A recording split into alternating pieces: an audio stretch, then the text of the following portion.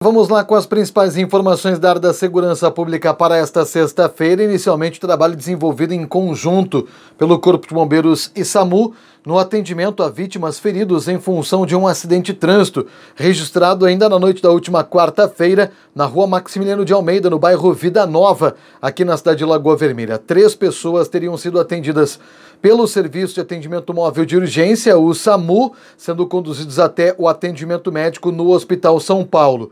Já os resgatistas do Corpo de Bombeiros efetuaram o atendimento a um homem de 21 anos de idade. Segundo a corporação, o jovem estava agitado, sendo necessária até a intervenção de alguns familiares para que ele pudesse ser contido e recebesse o atendimento médico. Socorristas efetuaram a verificação de sinais vitais e encaminharam o atendimento médico até o Hospital São Paulo, né? O homem ao atendimento médico até o Hospital São Paulo. O acidente acabou envolvendo duas motocicletas no bairro Vida Nova, ainda na noite de quarta-feira.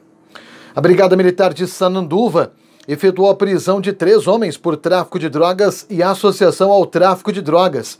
Durante operação desenvolvida nas proximidades de casas noturnas na cidade de Sananduva, houve a abordagem a três homens. Durante a revista pessoal, os policiais encontraram com eles 13 gramas de maconha, valor em espécie, dinheiro em espécie, um aparelho de telefone celular, além de ter sido recolhido um veículo Gol que estava em mau estado de conservação.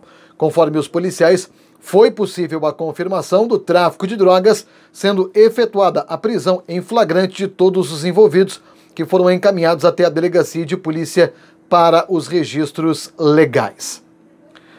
Já na cidade de Passo Fundo, dois adolescentes e um jovem foram detidos em função de tráfico de drogas e também posse de arma de fogo.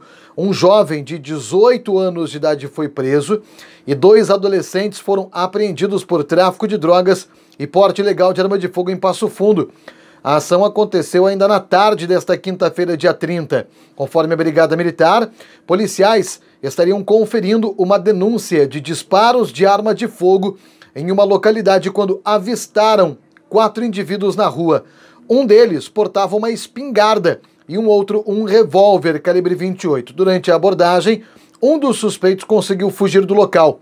Com os demais que foram detidos pela Brigada Militar, de 16 de 17 e 18 anos de idade, os policiais apreenderam droga, munição e balanças de precisão. Na ocorrência foram apreendidos 18 quilos de maconha, porções de crack, 3 quilos de cocaína, mais quase 2 quilos de MDMA, uma substância utilizada na preparação de drogas sintéticas. Também foram encontrados espingarda de pressão, espingarda de pressão modificada para calibre 22, dois simulacros de pistola, diversos aparelhos de telefone celular, quatro balanças de precisão, duas caixas de munição e alguns outros materiais. Os jovens e também todo o material apreendido foram apresentados na Delegacia de Polícia Civil da cidade de Passo Fundo. São algumas das informações da área da segurança pública. Outros destaques estão no site lagoafm.com.br.